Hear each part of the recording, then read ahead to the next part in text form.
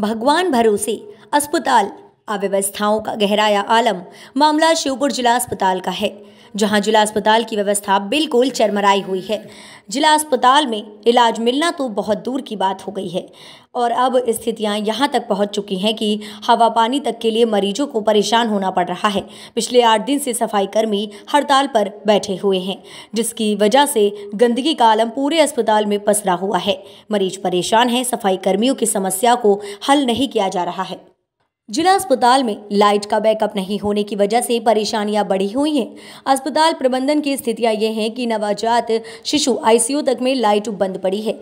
पूछने पर प्रबंधन द्वारा बताया गया कि जनरेटर में डीजल खत्म हो जाने के कारण लाइट नहीं आ रही है। मतलब साफ़ है, नवजात शिशुओं की जान से खिलवाड़ सरेआम किया जा रहा है। इसके अलावा पूरे अस्पताल में कहीं भी लाइट बैकअप देखने को नहीं मिल रहा है। सफ़ाई ना होने की वजह से गंदगी के ढेर लगे हुए हैं और लोग परेशान हैं। तो वहीं पीने के पानी की भी कोई उचित व्यवस्था न होने के कारण मरीज़ पानी की बोतलें खरीद कर पीने को मजबूर हैं। इस संबंध में जब जिला अस्पताल सिविल सर्जन से बात की गई तो मीडिया के सामने आने की वजह से बीमारी का बहाना बनाकर पल्ला झाड़ लिया गया। शिवपुर से संवाददाता गोविंद गर्ग की रिपोर्ट। तीन दिन से लगातार आ रहे हॉस्पिटलों ऐसे ऐसे गंदगी हुई है।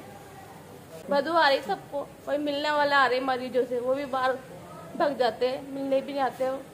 बदबू बदबू की वजह से उल्टी हो रही है। आधा घंटा करीब साइड गए आधा पौने पीने का पानी की परेशानी आ रही मरीजों को सबको। पीने का पानी की परेशानी आ रही मरीजों को सबको। जैसे पीने भी बोतल ला के पिया है खरीद कर अब इधर भी होता है पानी नहीं है बाहर भी गई थी मैं पानी नहीं है वहाँ भी।